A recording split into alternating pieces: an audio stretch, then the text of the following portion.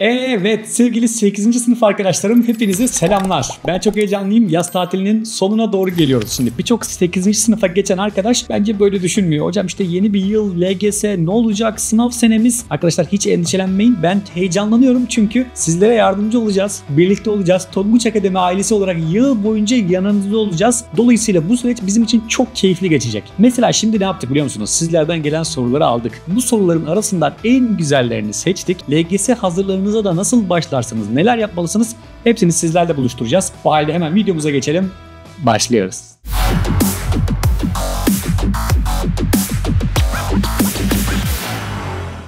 Evet ilk soruyu Mehmet Sanay sormuş. Hocam ben ana derslerin hepsini bitirdim. Bunu sizinle birlikte yaptım. Ne yapmalıyım diye soruyor arkadaşımız. Sevgili arkadaşlar LGS hazırlığında önden başlamak ve önden gitmek evet size iyi hissettirebilir ama bunu yaparken de niteliği yani çalışmaların verimini, kapasitesini çok da düşürmeye çalışmaya gerek yok. Bu arkadaşımız belki bunu kaliteli bir şekilde yapmış olabilir. Sözüm Mehmet'in üzerinden aslındaki birçok öğrenciye. Arkadaşlar önden gidebilirsiniz problem yok ama çok öne gitmenize de gerek yok. Yani bazı konuları ikinci dönem, ikinci dönemin sonlarına doğru duyacaksınız. Dolayısıyla bence birinci dönem konularına göz atmanız fazlasıyla yeterli olacaktır bile. Şimdi Mehmet yaptığın yanlış değil ama daha efektif olmasını sağlamamız açısından ve diğer arkadaşlara ilham olması açısından şunu güzel bir şekilde söyleyelim ki evet 2-3 üniteyi öğrendikten sonra bolca soru çözerseniz 2 soru bankasından 3 soru bankasından konu anlatımlarınızın ardından soru çözümleri yaparsanız yanlışlarınızı öğrenirseniz bu sizin için çok daha isabetli olacaktır. Evet bir başka sorumuz Phil isimli arkadaşımızdan gelmiş. Hocam günde 60-70 soru sizce ideal mi olur mu demiş. Tabii ki olur neden olmasın. Biz zaten sizden özellikle videolarımızı takip etmenizi, buradaki uyarıları dikkate almanızı, notlar alarak çalışmanızı ve üzerine birazcık soru çözümleri yapmanızı istiyoruz. Bu 60-70 sorunun içerisine düzenli olarak paragraf sıkıştırırsanız ve ilginizi çeken derslere ait ünitelerle böyle birinci ünitelerle alakalı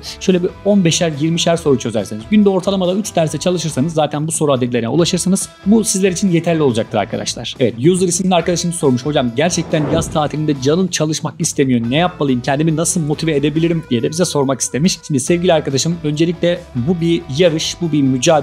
Önümüzde bir hedef var ve bu hedefi geride bırakacağız. LGS mutlaka kazanılması gereken değil, geride bırakılması gereken bir sınav ve bununla ilgili de gelecek hayallerimizi gözümüzün önüne ne kadar çok getirirsek o kadar çok heyecanlanırız. Henüz bunu yapamadığımız için heyecanlanamıyor, moda giremiyor, odaklanamıyor olabiliriz. Bu yüzden olmak istediğin kişiyi, yapmak istediğin mesleği, bulunmak istediğin ortamları hayal etmeni tavsiye ederim. Yaz mevsimi bunun için oldukça güzel. Bu yüzden gelecekle ilgili kuracağımız hayaller, bulunmak isteyeceğimiz ortamlar, oraları düşlemek bizi zihnen harekete geçirecektir. Bunu düzenli olarak yapan arkadaşlar kendilerine çalışmak için sebep bulur arkadaşlar. Bu yüzden ya bir sınav var ben bu sınava gireceğim çalışmak zorundayım değil de sizi heyecanlandıracak o şeyleri düşünmeli ve bunu düşündükten sonra da elde etmeniz için şu anda ne yapmanız gerektiğini düşünün. Zaten oklar size nereye gitmeniz gerektiğini de söyleyecek benden söylemesi. Evet bir başka arkadaşımız hocam günde kaç soru çözmeliyiz demiş. Aslında biraz önceki arkadaşımız ideal soru adedinde vermiş oldu. Biz de aslına bakarsanız günde ortalama 50 ila 100 arasında gidip geleceğiniz, canınız modunuz ne kadar istiyorsa soru çözümlerini yapabilirsiniz. Hocam ben şu anda 30 çözüyorum olur mu? Arkadaşlar tabii ki olur hiç başlamamış bir arkadaşa göre de başlamış olduğunuz anlamına gelir. Bakın LGS ile alakalı size bir strateji vereyim. Zaten önümüzdeki yıl Mayıs ayına doğru hepiniz çarpanlar katlı, hepiniz mevsimler iklimi, hepiniz bir kahraman doğuyor gibi üniteleri biliyor olacaksınız arkadaşlar. Burada önemli olan artık o yeteneklerinizi, becerilerinizi ne kadar süre gerçekleştirdiğiniz öne çıkacak. Başarıyı aslında birazcık da bu getiriyor. Mesela bir futbolcu düşünün. Futbola yeni başladığında topa vurmayı biliyor takdir edersiniz. İyi bir futbolcu da topa vurmayı biliyor. Ama iyi bir futbolcu daha çok antrenman yaptığı için o işte biraz daha başarılı olma ihtimali de vardır. Tabii ki yetenekleriniz de sizi bir yere getirecek ama çalışmanız sizi yeteneklerinizin de üzerine çıkaracak. Bu özellikle milli olimpiyatçımız Mete Gazoz'un bir sözüydü. Bu da size özellikle bu sene ilham olsun. O yüzden ne yapacağız? Olabildiğince antrenman yapmamız lazım. Çalışmalarınıza başlayınız. Ve evet son sorumuz Kürşat sormuş. Hocam LGS'ye gireceğim. Sayısalda fazlasıyla zorlanıyorum. Ne yapmalıyım? Kaynak tavsiyeleriniz de var mıdır diye bir soru gelmiş. Sevgili Kürşat öncelikle LGS yolculuğunda başarılar dilerim. Biz senin son saniyeye kadar yanında olacağız. Sen de elinden geleni yapmaya devam et. Özellikle sayısal derslerde başarılı olmak istiyorsan konu anlatımlarını YouTube'da bizim kanallarımızdan dinledin. Sonrasında da